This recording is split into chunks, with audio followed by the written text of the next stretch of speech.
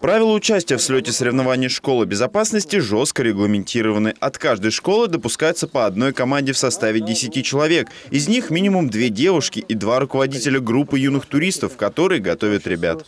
Готовимся серьезно, ответственно подходим к такому прекрасному мероприятию. Очень здорово, что ежегодно проводятся такие соревнования, которые детям дают возможность почувствовать себя настоящими туристами.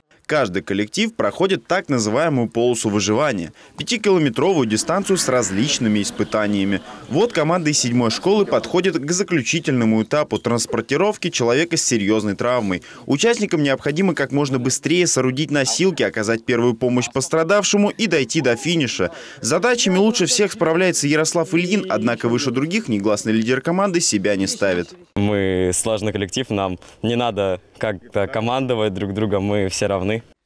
После финиша команды отправляются по своим лагерям, где они отдыхают после насыщенной испытаниями дистанции. Но полежать на солнышке не придется, надо дров нарубить и обед приготовить. Хорошим настроением, как у юных туристов, любое дело спорится быстрее. Здесь собраны те, кто любит походно-туристический досуг и хорошо знает, что отдых – это смена видов деятельности.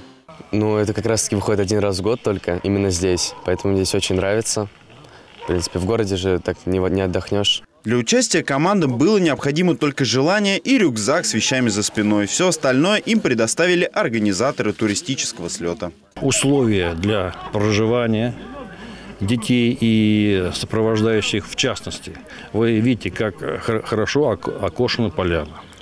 Она обработана противоклещевым раствором. Вот. Также мы обеспечиваем доставку чистой артизанской воды для детишек. Помимо этого, на каждом испытании дежурили сотрудники спасательной службы, которые не только контролировали, но и оценивали действия участников. Проводим мы соревнования совместно с Центроспасом МЧС России. То есть ребята нам помогают, это наши главные судьи, которые находятся в лесу и обеспечивают безопасность наших участников. Победную гегемонию с самого начала зародили участники из школы поселка Измайлово, которые уже два года подряд становятся чемпионами туристического слета «Школа безопасности». Вот и в этот раз коллектив не собирался уезжать без победы. У нас очень хороший капитан команды, он умеет вести за собой ребят, Шарипов Актилек. Э, ну, ребята уже дружная команда, слаженная, поэтому это, в общем-то, их заслуги, их победы. Однако главным для всех участников была вовсе не победа, а возможность провести время в лесной чаще, сидя у костра с друзьями и поучаствовать в сложных, но полезных испытаниях. Арсений Рогозянский, Александр Логинов, Ольга Садовская, Видное ТВ.